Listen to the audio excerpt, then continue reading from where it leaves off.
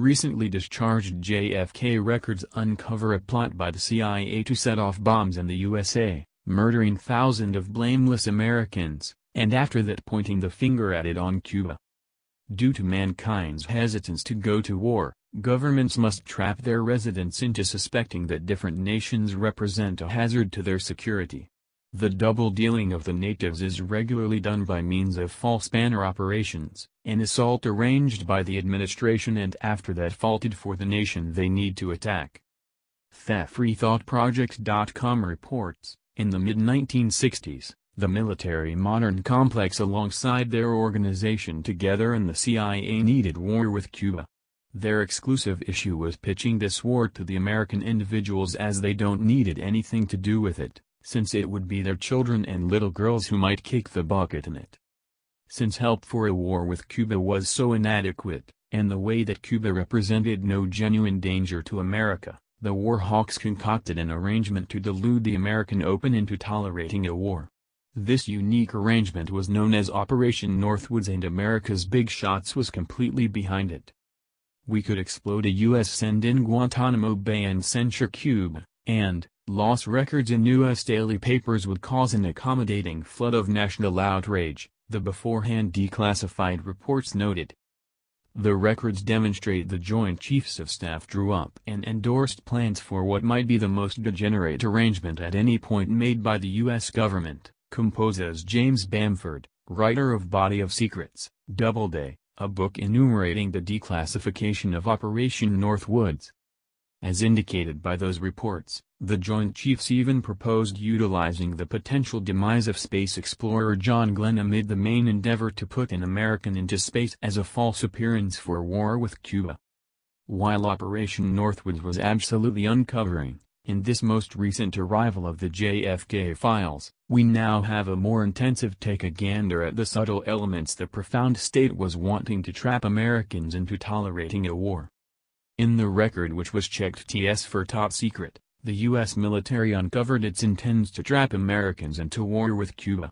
The designs were to make and do false banner fear assaults against American residents and utilize them as publicity to pick up help for the war against Fidel Castro.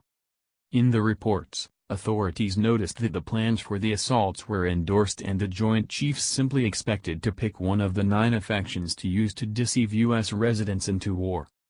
The designs included slaughtering guiltless individuals and harming others and ensuring these examples would be generally exposed as purposeful publicity to begin an out-of-line war. We could build up a communist Cuban dread crusade in the Miami region, in other Florida urban communities and even in Washington. The dread battle could be pointed at Cuban evacuees looking for safe house in the United States. We could sink a boatload of Cubans en route to Florida, genuine or reenacted, the record peruses. Notice how unfeeling these creatures sound when looking at suffocating a boatload of Cubans, which would have likely contained pure youngsters, to begin a sham war for benefit.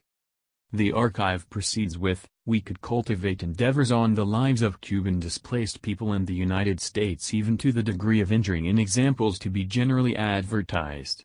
Detonating a couple of plastic bombs in precisely picked recognizes, the capture of a Cuban specialist and the arrival of arranged archives substantiating Cuban association likewise would be useful in anticipating the possibility of a reckless government.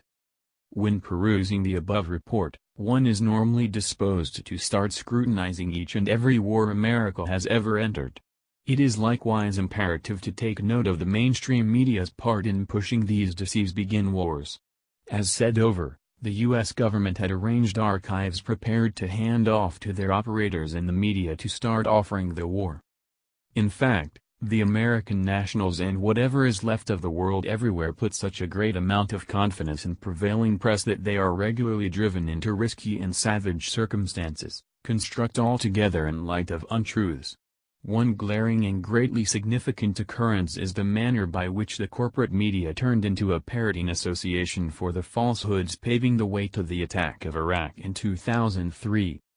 Insight assembled by this and different governments leaves almost certainly that the Iraq administration keeps on having in disguise the absolute most deadly weapons at any point conceived. At that point President George Bush attested in an open address on March 17, 2003. This administration has officially utilized weapons of mass devastation against Iraq's neighbors and against Iraq's kin. Shrub's affirmations were addressed by human rights specialists, as well as by UN weapons investigators and innumerable others, so not long after the U.S. attacked the sovereign country, the New York Times took up the slack to fill in a proper casus belli. Presently, over 10 years after a huge number of honest individuals were butchered in the contention made by the United States, the world knows, there were never any weapons of mass demolition. It wasn't simply Iraq, Vietnam was begun once again a false banner as well. Nothing represents the predominant press parroting of false banner fear superior to writing about the Gulf of Tonkin episode, maybe one of most glaring untruths at any point thought up as an avocation for war. On August 5, 1964, the New York Times announced, President Johnson has requested retaliatory activity against gunboats in certain supporting offices in North Vietnam after restored assaults against American destroyers in the Gulf of Tonkin. Additional outlets, for example, The Washington Post, reverberated this claim. In any case, it wasn't valid. By any stretch of the imagination. Indeed, the Gulf of Tonkin episode, as it wound up noticeably known, ended up being an imaginary creation affability of the administration to heighten war in Vietnam, prompting the passings of a huge number of U.S. troops and a great many Vietnamese, instigating the biggest against-war development in American history, and discoloring the notoriety of a country once considered at any rate to some degree honorable according to the world. In 2010, more than 1,100 transcripts from the Vietnam time were discharged, demonstrating Congress and authorities raised genuine questions about the data bolstered to them by the Pentagon and White House.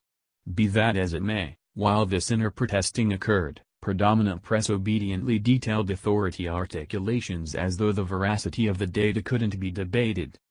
What number of silly wars and a great many passings are because of the falsehoods propagated by the U.S. government and their parrots in the Standard? We may never realize that answer.